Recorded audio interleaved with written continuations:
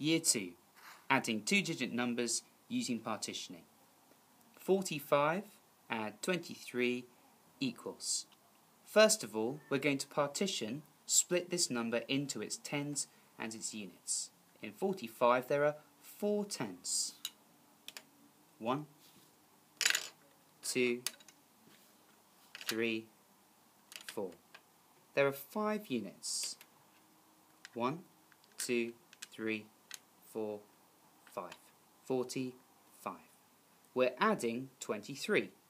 In 23 there are two tens. One, two. There are also three units. One, two, three. Twenty-three. As we're adding, first of all we're going to add together the tens. Four tens adds two tens. Four add two, it's six tens. Sixty. Then we're going to add the units. Five units.